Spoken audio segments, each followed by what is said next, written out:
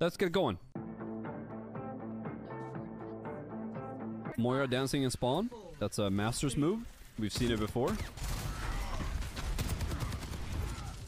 Okay, good off angle. Don't mind this.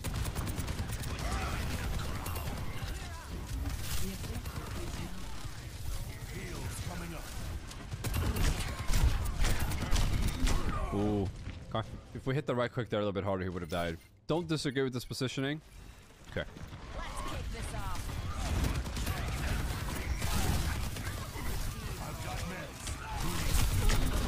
Now, chat, what is the first mistake that happened here? I want to see if you guys can find it. It's not isolated to the soldier player. It's isolated as a team issue. What is the biggest issue by going here? And where should we go instead? I've talked to you guys about this in length. What do we do if we lose the first fight? In this particular instance, where do we go? I mean, the positioning is wrong, but where do we go instead? I'm just checking if you guys did your homework, chat. I'm just checking. Go main. That is correct. We go main, chat. We do not go through here. All right. If you've lost the first point and they have a tank with a shield, this is not the way to go. There's no fucking way in hell that you're getting out of here alive. And even if you do, you're not going to get out unscathed. Chances of you getting out here is only going to happen if your entire team has ultimates and you press Q at the same time. That's how you win this fight. But normally speaking, you're literally wasting time. They have the point. You need to go main.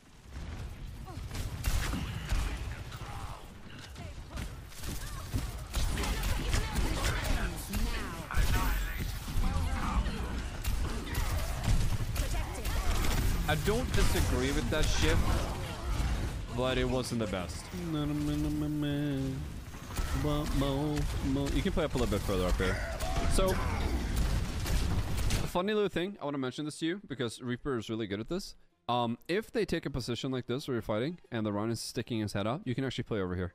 This is actually not a bad spot for you. Um, playing here around this little thingy right here allows you to jump and get full damage off your off your. I can't even talk. Have an aneurysm. Sorry. You can play over here and you can jump here consistently up and down and get full damage from your shotgun. Right. So you can play right there, and it also allows you to shift back to the uh, the healing thing if you really need to, or you can just take a left side position with the with the shift as well.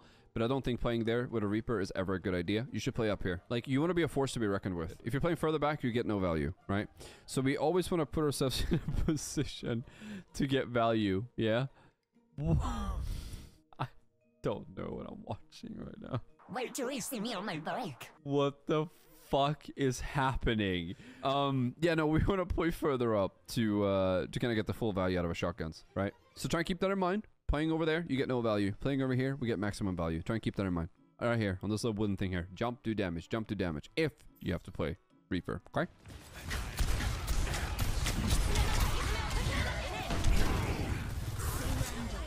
Wait, what?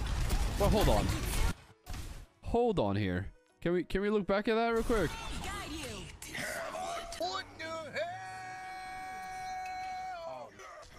Uh, I feel like you were behind the cover there perfectly. But honestly, you should have played that better. Chat, he should have just played better. He should have dodged it. People know how to use bat window. It's a good bat. Oh, we're going soldier chat. It's time.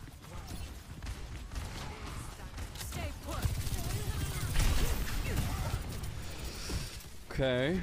So I, I want to bring up something to you, right? So I feel like we're not really utilizing the fact that the enemy team doesn't have any way to get to you if you're high ground, right? You're playing Sojourn, okay? And who the fuck is gonna bother you if you jump out on the elephant right here, right? If you jump out on this fat little elephant right here, the fat little elephant, you know, the, the one with tusks and the little crown. If you jump up here, who the fuck is gonna stop you? They have Rein, they have Reaper, they have Symmetra, they have Bap, they have Kiriko. Yeah, you might get harassed by Kiriko.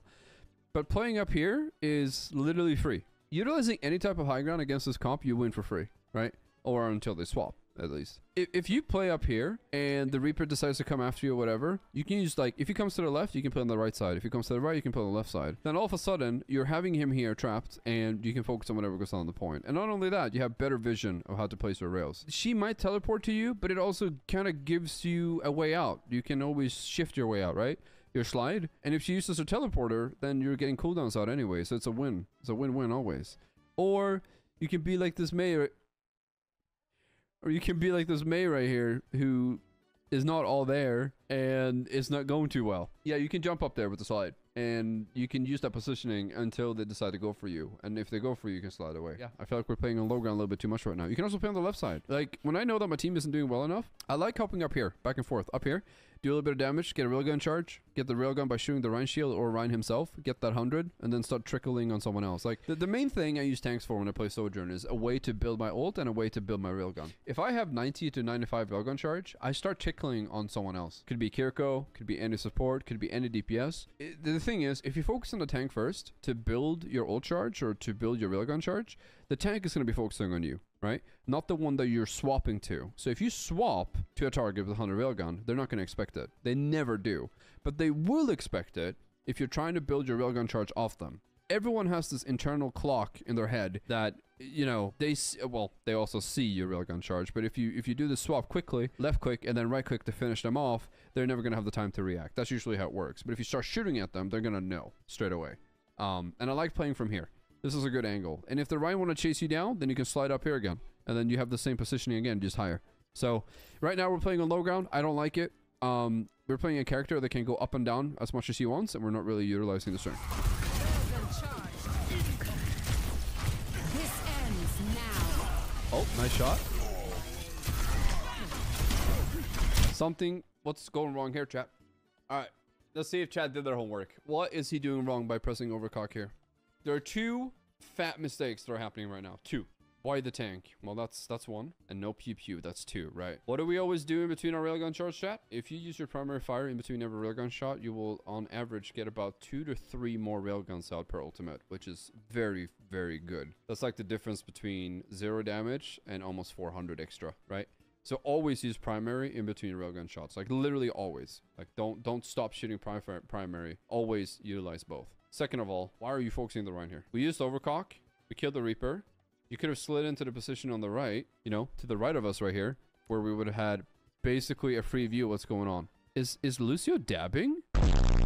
You could have slid here to the right. You kill the Reaper, you go right side. Here. You you you have a better position than you had previously. Playing up there, you're kind of limiting yourself again. Playing right side, you have a full view of what's going on in the main.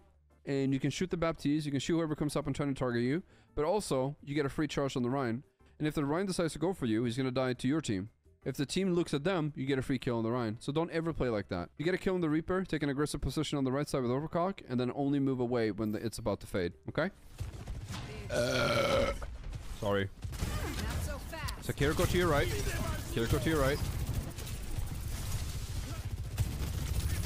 Nice.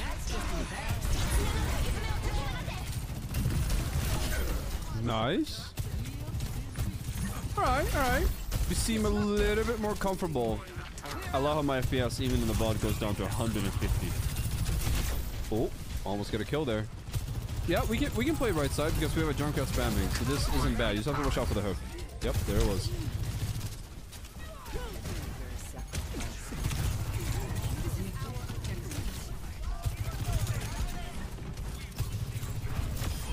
Gotta stay on your See, chat? If you're Torbjorn there, you didn't jump, you'd have survived. But the Torbjorn jumped, and then he got killed. Uh, Our Lucio's feeding a little bit. That's unfortunate.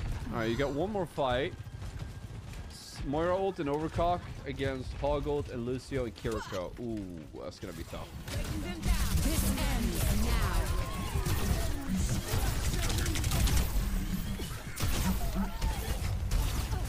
This ends lucid, losted.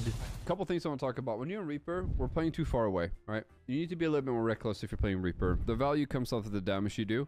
If you're standing from far away, mm-mm, no damage coming out. That's bad, all right? No, no stand far away. Stand close. Find ways to uh, play closer to where they're coming up from or where they're at. I don't think Reaper is necessarily a bad pick. I don't disagree with it, but yeah, that's how I want to play with Reaper. Now, when you started Soldier, I kind of saw what you were going for, but like I pointed out before, is that if you lose the first fight top left, you want to play main instead. Keep that in mind as well. That's a huge tip. And the way I play that is sustain. I sustain damage, try and get a rocket in every now and then, but if I get vote, if I get jumped on, I kind of move away, right? So rinse repeat for that until I have a visor, and then I take a more of aggressive position. I always do that. If you die play top left, never go back the same way. If you play Reaper, always find ways and options to stand close and do the most damage. Shift is a powerful tool. We should use it to our advantage. It felt more like Shift was more like a panic button for you, but Shift can actually be a powerful tool to get from point A to point B unscathed. So keep that in mind. Second, we're playing uh, a little, little Miss Miss Sojourn here. Primary fire in between the rails. You're missing out on three to four rails every single overcock that you're doing. Like our, our 9 incher went to 2 incher because we're in primary firing. So get that going, right? Every time you rail, you shoot primary fire and it, you'll see how much faster it reloads and charges, right? Keep that in mind. Always primary fire between the right click. We need to press tab sometimes to kind of understand what we're up against, right? On that second point, I feel like we could have done so much more. Sure, we won it, but it wasn't clean. Positioning is everything. And you're up against a Symmetra and Reaper